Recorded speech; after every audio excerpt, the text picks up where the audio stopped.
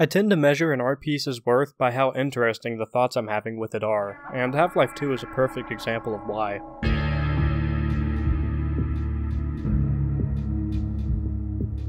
This all comes down to one key word subtlety. Anyone who's seen my Thief 2 videos will know I'm a big fan of subtlety. I want to have to put in the work to understand the full breadth of the story. It adds a sense of discovery that games can be especially good at capturing. While the Half Life series is a linear story with relatively few spoken lines, there's so much going on in the story that isn't directly explained to you, to the point where I'm still learning new things about the story and world, nearly 12 years after I first played Half Life 2. This stuff applies to Half Life 1 also, though not quite as much. There will be spoilers for all of the Valve directed Half Life games and Opposing Force from here on out. Just look at the Half Life 1 chapter, Questionable Ethics. The game expects us to understand the implications behind finding laboratories full of caged Houndeyes. The Black Mesa team has been doing experiments on the aliens, and of course, that means they knew about them well before the Resonance Cascade. Not to mention the factories in Xen filled with passive Vortigaunts. Without a single word, this confirms that the Vortigaunts are indeed brainwashed, and that they're being used to manufacture soldiers for some sort of alien overlord, who we'll eventually find out is the Combine. That also explains the shackles the Vortigaunts are forced to fight in. I love this stuff. It makes the game feel so much bigger than it is, because there's no telling what else you might have missed in the story. There's a very good chance that the Nihilanth was trying to hold a portal to Earth open so that the enslaved aliens could escape the Combine, but that whole theory deserves a video of its own. On to Half-Life 2. From the very moment you start Half-Life 2, your mind is filled with questions, most of which can actually be answered very quickly if you pay attention to the nuances of the world. What happened to the aliens? Well, there's a Vortigaunt sweeping trash behind a fence in the beginning. They're probably still enslaved. Where am I? Well, there's some sort of European language on a lot of the walls, and the man giving the speech on the monitor says, Welcome to City 17. This world is so heavily controlled that its cities are numbered, the fact that we're only in City 17 tells me that there probably aren't many cities left in the world. Who's this guy on the screen? I thought so much of City 17 that I elected to establish my administration here, in the citadel so thoughtfully provided by our benefactors. Huh. He must be some sort of leader, but he's not really the one in charge. It's whoever these benefactors are. Probably the ones who enslaved the Vortigaunts. The flying camera just took a picture of me, this is clearly some sort of hyper-secure rule over Earth. I wonder why they haven't just brainwashed us all yet. Wait, G-Man said wake up and smell the ashes. Is it my fault that humanity has been taken over by this Orwellian master race? We haven't even taken 30 steps, and the player's mind is already racing, asking tons of questions and figuring out tons of answers.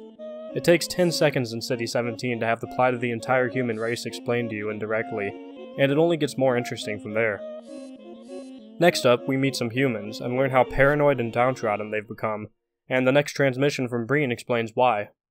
A suppression field is employed by the Combine to make all of humanity sterile, and as Breen gives a speech explaining its purpose to Concerned Citizen, we start to understand Breen a bit better. There's a ton of subtext in this second Breen speech should you choose to stay and listen to the whole thing. Breen talks about instinct like it's some sort of primitive aspect of humanity that we need to grow out of, and maybe he has a point there, but it also makes us question whether Breen has already been brainwashed, or if he's just fooled himself into swallowing the Combine's propaganda so that he can keep a seat of power. Does he really have humanity's best interests at heart, or is he just looking out for himself? Is he even real?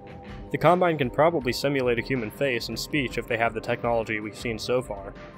This is how you do intrigue. You'd be hard pressed to find someone who wasn't excitedly waiting to see Breen in person after listening to the speech and game. And what's so cool is that everything I've said so far is left for the player to ask themselves and discover. None of this is expressed in cutscene. It's up to the player to pick up the scraps of the world and rebuild it in their head. It feels like we're writing some crazy fan theory as we learn about the world, but in reality, we're just putting together the puzzle pieces.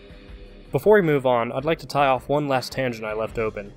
The reason the Combine don't just brainwash all of the humans is because of our scientific prowess.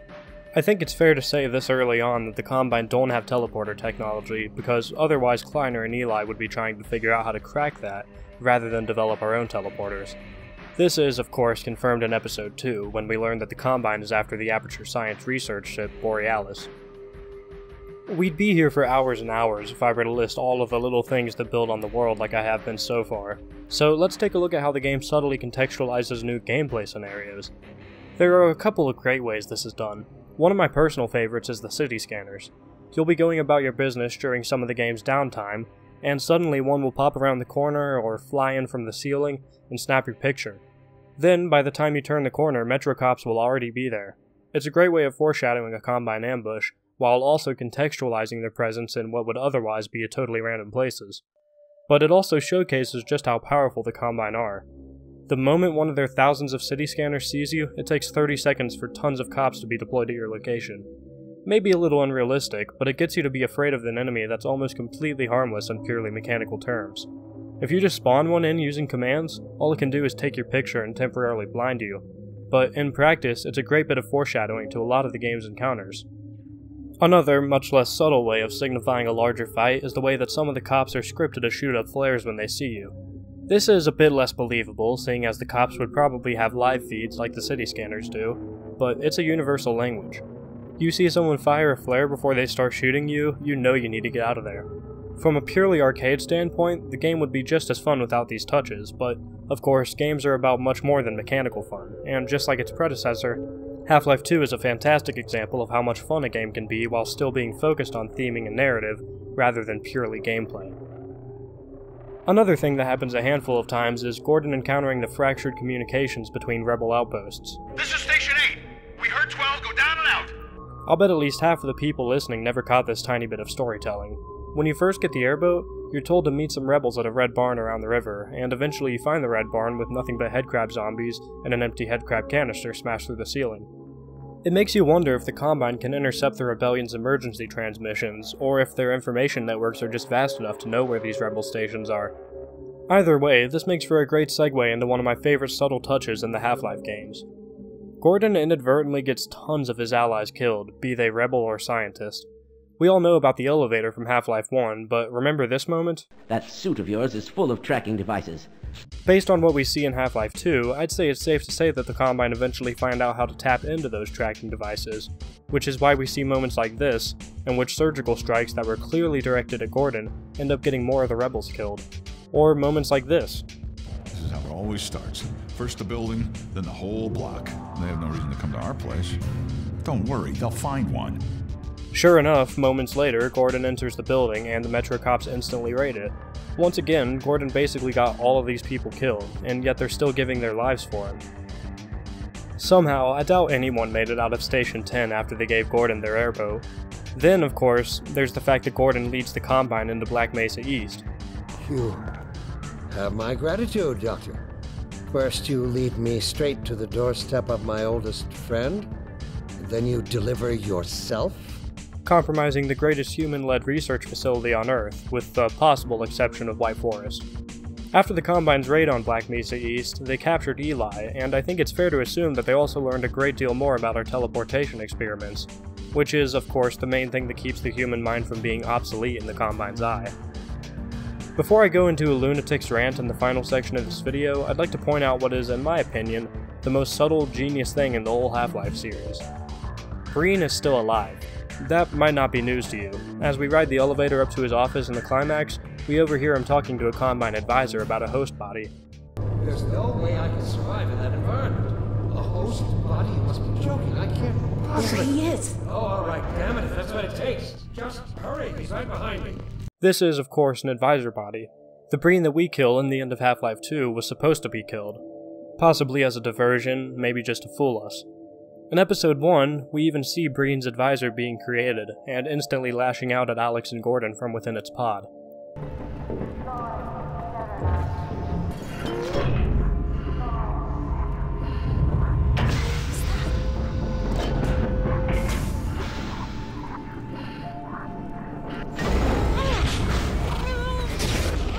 This is why, at the end of episode 1, when the Citadel is finally collapsing, we see countless advisor pods launched out of it, like I said, you've probably heard that one before, but what if I told you that we actually meet Breen's advisor in episode 2, and it tries to kill Gordon and Alex? When this advisor first wakes up from its pod, we see it test its new abilities on an oil drum and by mind probing a corpse. Then it notices Gordon, and even after being injured, it never takes its gaze off of Gordon for a second. The way it locks eyes with you, as far as I'm concerned, makes it basically certain that this is Breen's advisor, and in spite of the damage it takes, it does indeed survive. And if we assume that the tongue ability is indeed a mind probe, then that means that after the tragic ending of episode 2, the Combine suddenly knows all about the Borealis, and Eli's teleportation research, and all sorts of other rebellion secrets. Talk about a cliffhanger. Alright, onto the Meshuggah rant. Half Life has a great little story about good triumphing over the impossible odds of evil if you just look at the cutscenes, but there's so much more to Half Life's storytelling that adds near endless depth to its world, and a great amount of moral ambiguity too, as we see in Breen's unclear motivations. But let's backtrack a little bit to the single biggest mystery in Half Life the G Man. Nobody even knows what this guy is really called. We've just been calling him G Man because that was his model name in Half Life 1, and yet for 20 years, everyone who's ever played a Half Life game has racked their mind trying to figure out his story, and yet we still don't have anything outside of theories. Everything we know about Half-Life tells us that there must be some combination of the puzzle pieces, some angle of looking at things that could explain G-Man's origins and motivations, but we just haven't figured it out yet. In a way, this is the tragedy of Half-Life 3, and also the magic of it. A few years ago, on my birthday no less, Mark Laidlaw, the lead writer for Half-Life, released a letter from the perspective of Gordon Freeman recounting the events of Half-Life 3, and as far as I'm concerned, this is the canon ending to the series. It ends with Gordon and Alex traveling through a portal to the Combine overworld and realizing that there's countless citadels and a Dyson sphere in plain view, a Dyson sphere being a theoretical device that surrounds an entire star so that a civilization can harvest its energy losslessly. It just goes to show that throughout the entire Half-Life series, Gordon has been meddling in forces that he can't possibly comprehend, MIT education or no, and G-Man fits perfectly into that category. His motivations, his origin, his true form, his name, are all completely outside of our comprehension as mere humans.